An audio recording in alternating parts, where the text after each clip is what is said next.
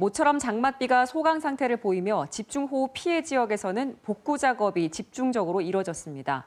30도를 넘는 폭염 속에서도 자원봉사자들과 군 장병들은 수마의 상처를 치유하는 데 힘을 보탰습니다. 보도에 지용수 기자입니다.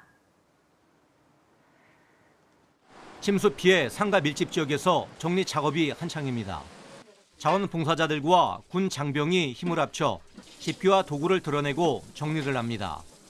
씻고 또 씻어도 끝이 보이지 않습니다. 30도를 넘는 폭염에 땀이 비오듯 합니다. 뭐 그냥 너무 마음이 아프니까 얼른 얼른 빨리빨리 이걸 치워서 이분들이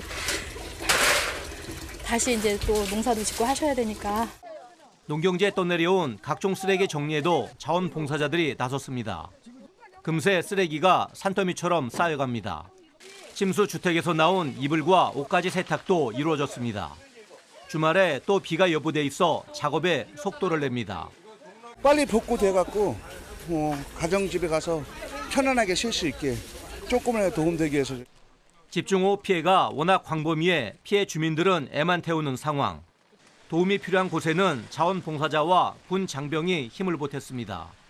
거의 다 70 이상 된 노인들이 90%예요 농촌에 인력도 부족해서 금방 못 치우면 또 들어오면 그놈이 또 떠. 복구 작업과 함께 수해로 스트레스를 호소하는 주민들을 위한 심리 상담도 진행되고 있습니다. 제이 일이 언제까지 진행이 될지, 이런 임시 시설에서 내가 언제까지 거주해야 될지, 막연한 불안감, 초조함 이런 것들을 많이 호소하세요. 지난 16일 이후 수해 복구에 나선 누적 자원봉사자와 군 장병은 3,200여 명에 달합니다. KBS 뉴스 지용수입니다.